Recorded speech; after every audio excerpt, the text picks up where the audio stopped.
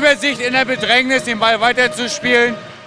Und dann ist es die Nummer 19, Kerstin Feckel, die das 21 zu 21 macht. Ja, es, es scheint so, dass Schwerin jetzt in die zweite Halbzeit besser startet als in die erste. Das macht mir Mut. Das sieht gut aus. Und ich glaube, dass der Ausgang völlig offen ist. Man sieht, dass die Abwehr aggressiver ist, oder findest du das nicht? Ja, ja, ja, sie haben schnell die Bälle jetzt erkämpft. Äh, Joda hat davor gut zugepackt. Auch hier haben sie sie nicht einfach durchgelassen. Der 7 Meter beweist es. Ähm, das ist ein gutes Zeichen. Das denke ich auch. Vielleicht hat jetzt der Torhüter das Glück, mal an so einen Ball ranzukommen. Ich vermute, ja, genau, Nummer 21. Gucken, vielleicht kann man sie ein bisschen nervös machen. Vielleicht warten wir ab. Ja. Sie hält ihn ganz stark. Jetzt hat sie den Riecher gehabt. Wunderbar. Gibt der Torhüterin Sicherheit und natürlich auch der Mannschaft. Auf alle Fälle. Ja, sie hat mal was probiert. Sie hat sich auf die Linie gestellt, hat sich bewegt und schon war die Schütze nicht mehr so sicher. So, ich hoffe, das gibt Susi jetzt den richtigen Schub, damit das dann auch in den kommenden Minuten für sie erfolgreich wird. Hennig.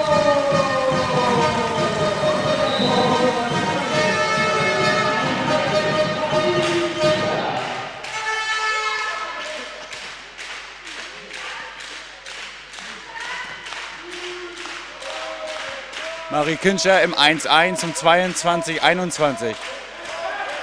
Schöne Einzelleistung, oder? Ja, ja, das beweist ja die These von mir, dass sie äh, bis dahin gefehlt hat, weil sie einfach auch sehr, sehr schnell, sehr, sehr gefährlich ist im 1-1, aber eben auch im Konterspiel. Hoffentlich hat sie sich nicht verletzt. Genau, genau. Ja, macht, macht innerhalb von ein paar Sekunden ihr zweites Tor. Wunderbar. Und schon sind es zwei Tore, 23, 21. Dranbleiben, weitermachen.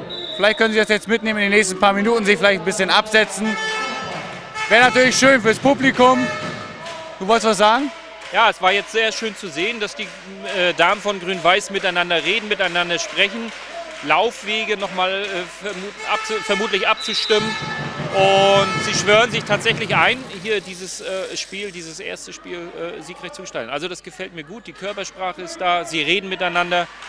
Also es sieht ganz gut aus.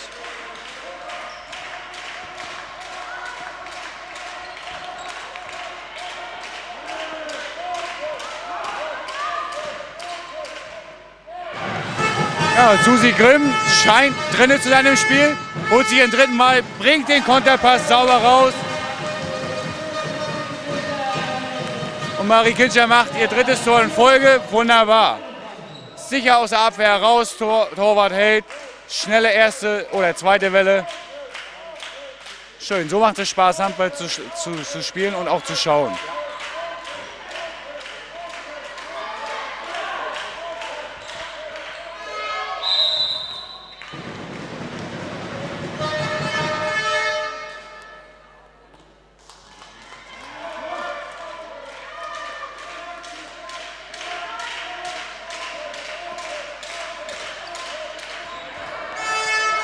Und wieder aus der sicheren Abwehr raus. Wieder Konterpass. Jawohl, sehr schön, sehr schön. Ja, also ich denke, dass man deutliche Zeichen erkennen kann, dass äh, ein Landsberg äh, irritiert scheint oder beeindruckt ist. Die Körpersprache ist eine ganz andere, habe ich das ja, Gefühl. ne? Ja, ja, na klar. Und schon äh, passieren hier technische Fehler, sie fallen hin, rutschen aus. Das, was in der ersten Halbzeit überhaupt nicht in der Form zu sehen war. Also ich denke, dass Schwerin gute, gute Chancen hat, ihr Auftaktspiel hier zu gewinnen.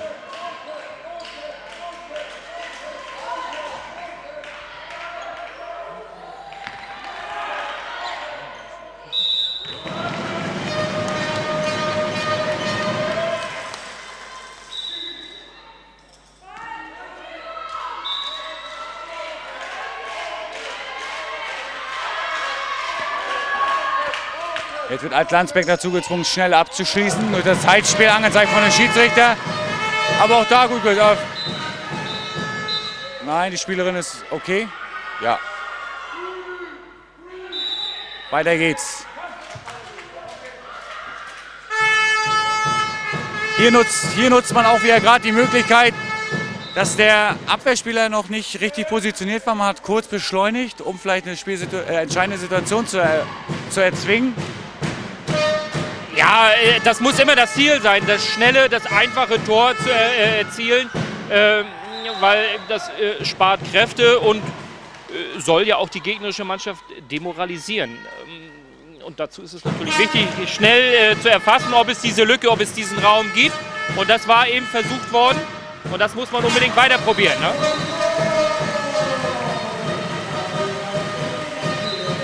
Ja, Nummer 18, Tini Schröder macht das. 26, 21. Schöne Einzelleistung, 1-1. Gegenspielerin, wie man so schön sagt, ausgenuckelt und sicher verwandelt. Landsberg scheint verunsichert zu sein. Ich hoffe, das ist ein gutes Zeichen. Ja, und, und, und äh, es ist auch zu sehen, dass der Trainer von Alte Landsberg jetzt auf der Bank sitzt, der vorher sehr aktiv hinter und vor seinen Damen stand. Möglicherweise ist auch das ein Zeichen. Ob das seinen Frauen hilft, ich weiß nicht.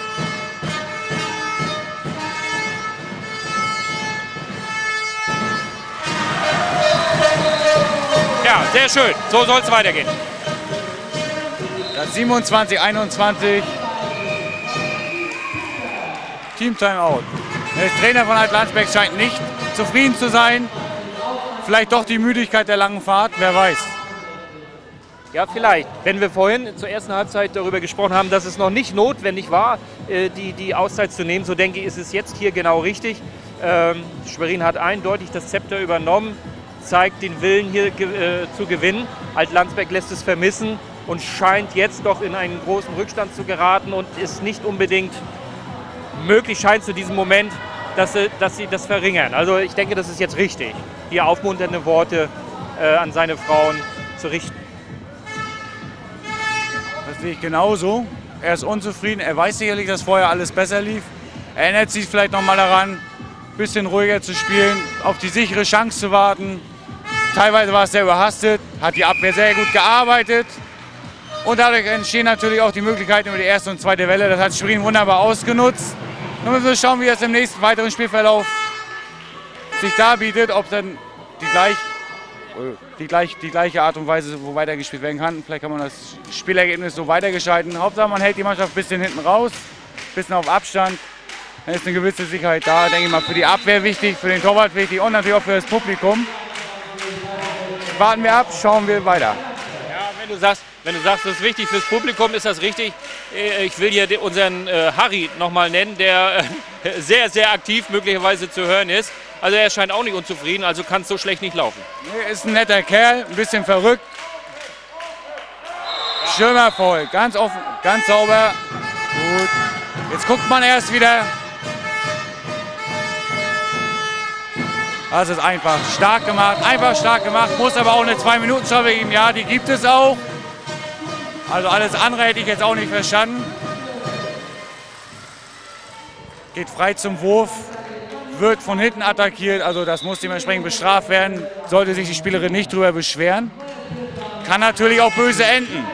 Mit einer Verletzung oder sonstigen.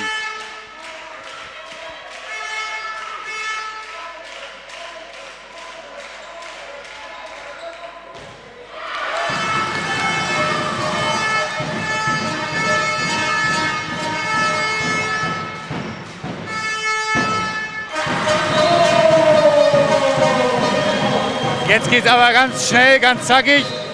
Ich glaube mittlerweile der fünfte oder sechste Gegenstoß über, über die Abwehr oder den Torwart, der momentan sehr gut reingekommen ist, die Steffi Grimm.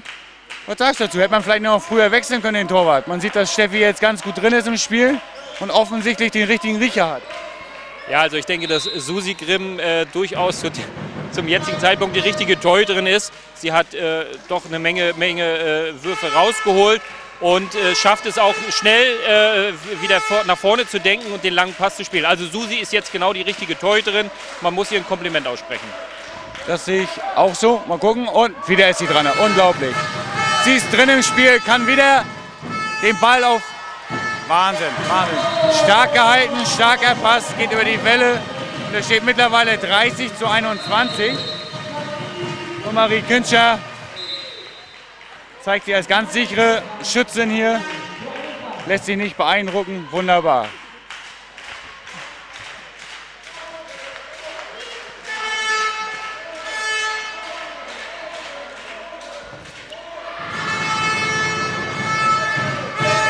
Gleiche Situation. Stark. Schade, schade. Pech, Pech im Abschluss an die Latte gehoben. Gucken jetzt. Ah, jetzt Ballverlust. Schade. Dann der Gegenstoß über die zweite Welle schön aufgelöst. Und die Nummer 21, so wie in der ersten Halbzeit, relativ sicher in ihren Entsche Wurfentscheidungen. Jetzt heißt es wieder kurz Luft holen, kurz sammeln, positionieren. Und dann geht's weiter. Ja, wir haben jetzt einen Wechsel auf der Linksaußenposition. Steffi Dube äh, kommt zu ihrem ersten Einsatz. Und äh, Steffi wurde ja auch vorhin in den Perspektivkader äh, berufen, sodass ich denke, dass man hier auch sieht, dass das, was wir mit Grün-Weiß vorhaben, durchaus mit Leben erfüllt wird. Ne?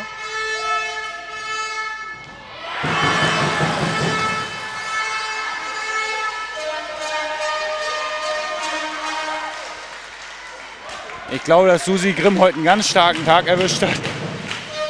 Entweder hat sie gut geschlafen, man weiß es nicht, aber sie scheint die Bälle richtig anzusaugen.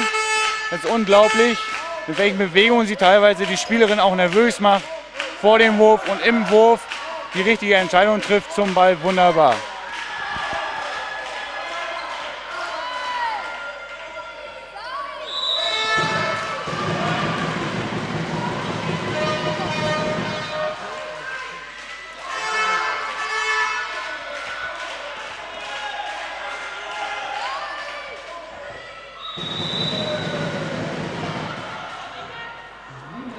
Sieben Meter Entscheidung, Abwehr durch den Kreis.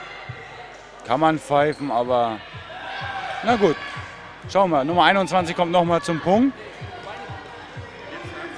Den hat sie äh, gut äh, von der Linie gekratzt. Mal sehen. Ja. Sehr gut. Großes Kompliment an Susi. Die gibt der Mannschaft wirklich den Rückhalt, die notwendige Sicherheit, die es braucht, um jetzt wirklich den Sack vielleicht jetzt schon sehr früh zuzumachen.